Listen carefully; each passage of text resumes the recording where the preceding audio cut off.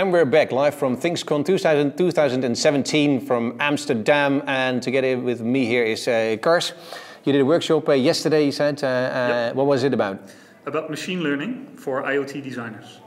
That is uh, quite a topic. Yes, so uh, do elaborate. Uh, well, uh, yeah, so that's a big buzzword, of course. Of course, machine learning. Um, the workshop was about uh, teaching designers a hands-on tool set with which they can play around with machine learning in their own uh, practice and have a machine learning algorithm control a connected product. To what end? Well, first of all, to uh, get a handle on what machine learning is in the first place, because um, a lot of us are talking about it. There's also some concern about it in society.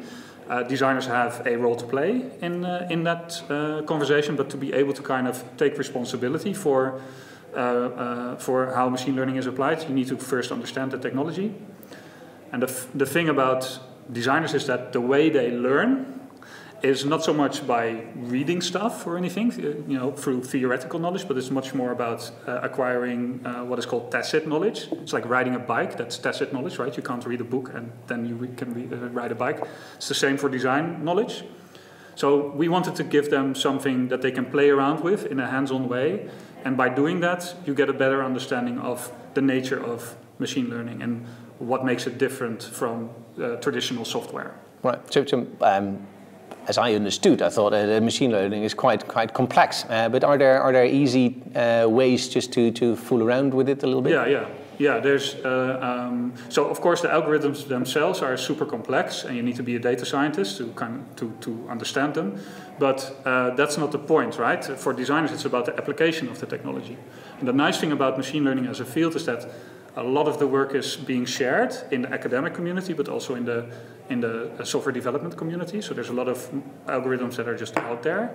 And what we did in the workshop was we took a tool called Wekinator, which is basically a, a GUI, a, a user interface with buttons, wrapped around one of these machine learning algorithms, uh, so that you can train it to do things just by giving it some, some examples yourself. Right, so uh, it's, it's still a little bit uh, uh, um, uh, high level. So, so, yes. uh, so if we talk about certain examples, what are what, what, kind of things were people doing during the workshop? So in the workshop, we gave them a uh, Arduino with two light sensors on it and an RGB LED. So it's super simple, and this Arduino is connected to the network, and the machine learning algorithm is running on your laptop. It's just open source software that you download and run on your laptop.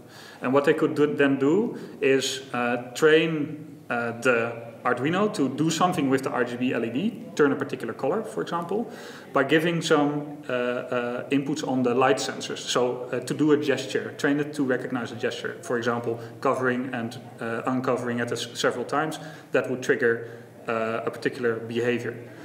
And the point was that normally you would write code to achieve such behavior. And here you just simply give it some examples, literally an example of, okay, this is the gesture that I need, and this is what you should do. And then you train the model, tell it to run, and then it just starts doing stuff. Right, because that is what machine learning is. It's basically just giving a lot of examples and, yes. uh, and patterns, and then yes. it will learn from that and exactly. understand how to exactly. repeat it. And this is a very simple, primitive setup, but you're using the same technologies as uh, uh, the stuff that's deployed in commercial settings and uh, at large scale. Right. So, so that was the, the, the, the, workshop in a nutshell. And whilst looking to these people and talking to them while they were doing the workshop, but uh, uh, were the people there had a, a wow uh, experience yeah, yeah. Or, or, or, a brilliant no, insight? Yeah, yeah, there were high fives, but uh, you know, once you start teaching this thing to do even stupid simple things like uh, uh, an RGB LED. We called the workshop uh, prototyping the useless butler. So the useless butler was this thing that is absolutely useless, but it's like an assistant, right? That the, the tech scene is talking about a lot, like all these voice assistants and stuff. It's the same principle. And it's very liberating to just have all this technology that is just off the shelf stuff. You combine it and you can achieve effects that are very similar to uh, the things that the tech giants uh, are achieving uh, nowadays. So were there people that already had epiphany uh, of a, a, new product or service? Is it, wow, if I can do this, I can do that, and I can come up with... That's uh, a good question. I'm not sure. You should ask them. But you probably but uh, were so. eavesdropping and... Yeah, no, let, me, let me put it this way. I, I do hope that that's the case, that, that this will help people think about the technology in a, in, a, in a more concrete way. So you will also end up coming up with more, uh, uh, more realistic but also more uh, interesting ideas as opposed to just reading a Wired article about it and then you're very limited in what you can imagine about it. Right. So this, this was uh, mostly an approach from, uh, well, based on the machine learning and just give that to, to designers yes. to learn and understand what you can do with it. Mm -hmm. um, one of the topics here this ThingsCon is also uh, uh, how to, to basically design uh, by default uh, with, uh, with the integration of security and yes. Uh, ethics and things like that. And yeah. were they part of the workshop as well? Did you, did you talk about that? Not explicitly, but I mean, there's lots of ethical concerns around machine learning. there's security concerns. there's concerns about what will happen to jobs, all that stuff. And like I said, designers have a role to play in ethically applying these technologies in products and services. And they need to be able to think about, okay, how does this impact people's lives? But they also need to be, uh, uh, be able to think about the technology and to talk about the technology with other stakeholders in a project. And so again, just getting some practical knowledge about it is, I think, vital for them to be able to have that conversation in the first place. Sure, sure. But you limited uh, the, the, the, workshop to, to basically how machine learning works. And yes, you, it's you, very you, fundamental. Yeah, so that's the first step. And the yes. next step would be, okay, but if you have this and you can do yeah. these kind of things, what, it, what are the impacts? What are the yeah. ethical impacts? What are the security impacts, etc., etc.? I think, I think it will help on the one hand to maybe uh, understand that some concerns are overblown uh, that machine learning is, is still uh, quite limited in some regards. But on the other hand, you will maybe see uh, uh that other concerns uh, should get more attention than they do right now. Um, so, for example, you will, from, from this workshop, you will experience the fact that machine learning really is a black box. You give inputs with outputs, and then you train it, and then it starts doing stuff. But what's happening inside is totally opaque. You, you can't open it up, you can't look at code or anything.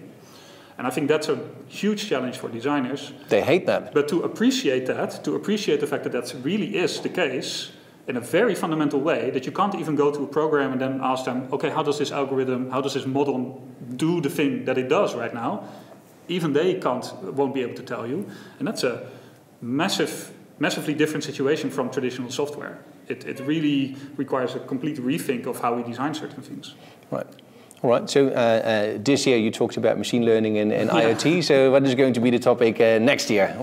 Well, I, I, I think you know I, I, I, am very concerned about the social social impact of uh, of these technologies. I'm also organizing people around these uh, these issues, like uh, um, other designers and programmers around. Okay, how how can we collectively also um, make a, a positive uh, contribution to, to how these technologies are rolled out.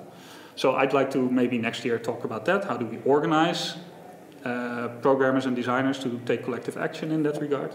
Because a lot of the uh, discussion around it really often comes down to, well, as a designer, you shouldn't do any bad things, right? Well, that's nice, but, but when I'm part of a big company, how much influence do I have in the first place, right? So that's for me a big question at the moment. Yeah, yeah, and it's also, I mean, uh, not only with big company, but sometimes you have limited time or resources. And, of course. Uh, uh, and he says, oh, skip the privacy part because uh, I don't want to look at it. Uh, sure, uh, sure. so as long as it looks good on the outside, and and maybe, and the next version I will fix it, yeah, and yeah. and it will never happen. Yeah, it's very hard to do this, these things responsibly in. In, uh, in, in, in, our current industry, the way it's organized. So, uh, so it's important that, that we get other institutions that really take responsibility for these issues, I think. Hmm. But you're an optimist? I'm an optimist, yes, absolutely. That's why I'm also organizing people, is because I believe we can actually make a positive difference. Uh, so, you know, they, they, they, these, all these technologies have massive potential, uh, and, but it's up to us to really kind of uh, uh, uh make that happen, the, the positive uh, sides. Perfect. Thank you very much. You're welcome. Thank you for watching. there was another episode of the live interviews we do from ThingsCon in uh, Amsterdam. So stay tuned for some other guests.